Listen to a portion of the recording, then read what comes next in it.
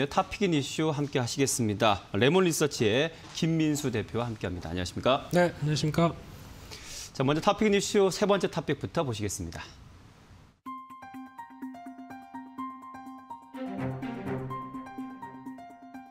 네. 어, 노스페이스는 네, 우리 다 하나씩 구비하고 있죠. 산에 다니시는 분들한테는 네. 그리고 또 뭐 청소년들도 뭐 겨울에 늘 이 점퍼 하나씩 입고 있고 네, 그런 그렇죠. 상황인데 네. 보니까 좀 젊은 층에서 산을 많이 가나 봐요, 이제는. 그렇죠? 그렇죠. 네. 앵커님도 산 좋아하시죠? 좋아하죠. 일주일에 네. 한 번은 웬만하면 가려고 하죠. 네, 보니까 MZ 세대라고 하는 네. 1980년에서 2004년생 제가 포함되어 있네요. 음, 네? 자전거 주로 타시는 분 아니신가요? 네, 자전거 가시려고 하시네요. 산도 좋아하다 보니까 산악 자전거, 아, 뭐 이렇게 MTB라고 네. 그러죠. 뭐 이런 쪽도 잘 피해 가시네요, 역시. 예, 좋아하는데, 어, 근데 지금 이게 트렌드가 되고 있습니다. 네, 그래서 네. 지금 영원아웃도어의 매출을 봤더니 저희가 2014년도 아웃도어 저 초호황기라고 하는 초기였었죠. 네, 네. 그때보다도 더 좋았다라는 관점이 나오다 보니까 이쪽에 대한 기대감이 계속 불러 일으킨다고 봐야 될 것 같고요. 네. 그런 쪽으로 봤을 때 또 F&F에는 디스커버리가 있죠. 네, 그리고 맞아요. 또 네, 더 네이처 홀딩스에는 어, 내셔널 지오그래픽 모두 다 음, 약간.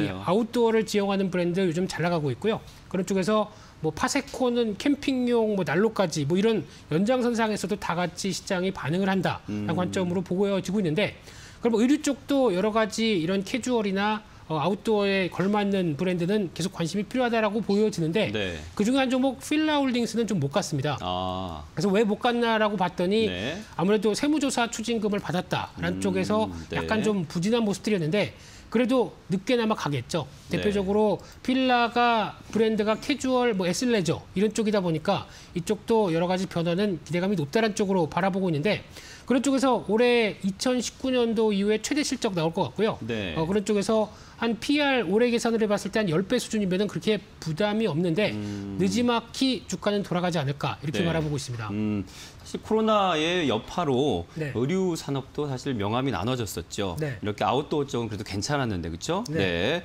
그 수혜를 본 것 같고 휠라 휠라홀딩스 지금 현재 43,150원 지금 2.13% 지금 상승 중인데요. 매매 전략 들어볼까요? 네, 어, 상당히 횡보가 길다 보니까 네. 전략 짜기가 좀 힘들어도 한 이제 4만 3천 원대 밑에서는 어, 비중 확대하는 전략들이 좋아 보이고요. 네. 이렇게 되면 직전 고점대까지 예전에 한 5만 원대까지는 충분히 이어질 걸로 보여지고 있고 손절가는 3만 9천 원대 말씀드리겠습니다. 네, 자 목표가 5만 원, 손절가 3만 9천 원 제시해 주셨습니다. 자 top pick in 이슈 두 번째 top pick 넘어갑니다.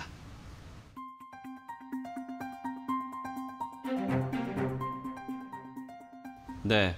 이베이 코리아 예비 입찰에 아주 경쟁이 대단한 것 같습니다. 뭐 개인적으로 저 네. 결혼 반지를 네, 이베이에서 네, 아내가 네, 쌌- 샀었죠. 네, 뭉클한 감동 음, 좀 스토리시네요. 브랜드 이쪽에 대한 좀 그런 건 있네요. 네. 네, 뭐 반지 이베이 이렇게 쓰시는 거 아, 아니죠? 그건 아니죠. 네, 거의 좀 죄송합니다. 저렴합니다. 네, 어, 그 사실은 어, 사모님께서 모르시는 걸로. 아, 네. 어, 그러고요. 일단 아, 방송 보면 안 되는데. 네.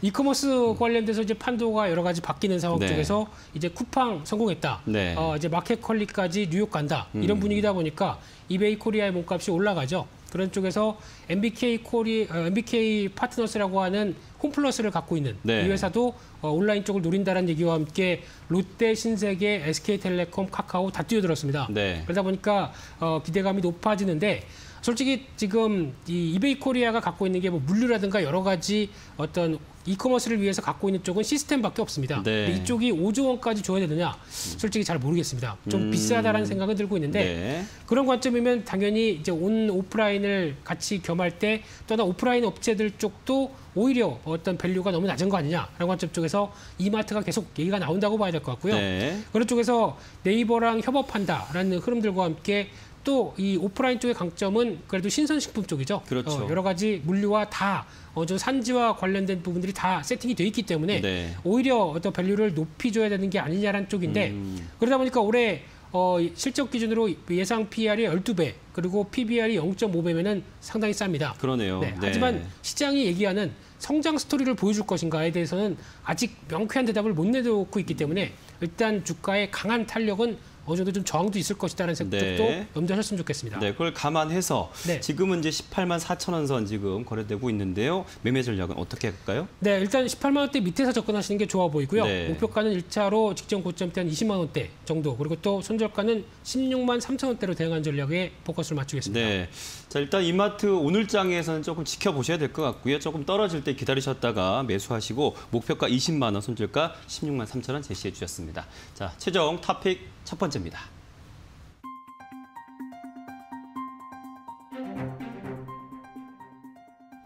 네, 가상화폐, 뭐 비트코인과 함께 계속 관련주들도 들썩들썩 하고요. 네. 뭐 정부에서 뭐 좀 좋아하지 않아도 시장은 좀 다른 것 같아요. 그렇습니다. 뭐 가치를 이게 싸다 비싸다로 볼 수 있는 어, 어떤 척도가 차트밖에 없습니다. 네. 그렇기 때문에 어, 이 부분에 대해서 어떤 가상화폐에 대해서 얘기를 하게 되면 지금부터 시간이 많이 걸리고요. 네, 네. 그러다 보니까 일단 어, 지금 심리적인 규제라든가 이런 부분들이 일단 제동이 걸리면은 또 여러 가지 변화는 나올 수밖에 없겠다는 쪽인데 어, 그런 쪽에서 요즘에 최근에 부각받고 있는 대표적인 가상화폐 관련 종목이 네오위즈 홀딩스 같습니다. 네. 네, 이 회사가 어, 자회사 네오플라이가 있는데 이쪽에서 블록체인 플랫폼을 운영하고 있는 카카오의 클레이 네. 또 어, 티몬의 창립자가 만들었던 테라 이런 쪽을 어, 어떤 운용하고 연관이 있다 보니까 이쪽에 대해서 부각이 많이 받고 있는 상황들인데요.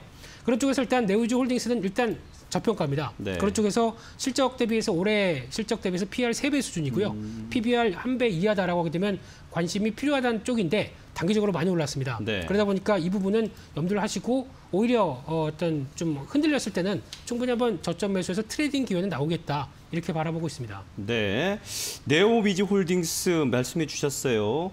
혹시 시간 조금 1분 정도 남아 있거든요. 네. 혹시 관련해서 네. 조금 더 우리 부분 선택할 수 있는 좀 도움 될 수 있는 얘기 조금 더 해주셔야 될 것 같아요. 네. 매매 전략은 이미 알고 계시고. 네. 그래서 일단 지금 어, 아마 비트코인 관련된 가상화폐 관련된 종목들도 한번 강하게 올랐다가 어, 가격이 떨어지게 되면 마찬가지로 흔들리죠. 네. 그리고 특히 어, 지분을 거래소 지분을 갖고 있는 회사들 같은 경우는 아직 실적 뚜껑을 열어봐야 되기 때문에 이 부분은 또 확인이 필요하다는 관점 쪽에서 일단 그래도 싸다란 관점이라고 하게 되면 주가가 이제 싼 모멘텀을 갖고 움직여야 되겠죠. 네. 그러다 보니까 일단은 3만 5천 원대 밑에서 어떤 저점 매수기 한번 잡아보셨으면 좋겠고요. 네. 목표가는 1차로 한 4만 5천 원대까지는 가도 어, 비싸다는 생각이 안 들고 있고요. 음. 그런 쪽에서 손절가는 2만 9천 원대로 대응하시면서 어, 비트코인과 연관된 가상화폐의 열기 들 네. 같이 비교를 해보실 수 있는 좋은 종목이라고 생각됩니다. 지난번에 저한테 뭐 관련주보다는 그냥 비트코인 얘기하시지 않으셨어요? 그렇죠. 비트코인 얘기를 했는데 지금은 팔 때죠.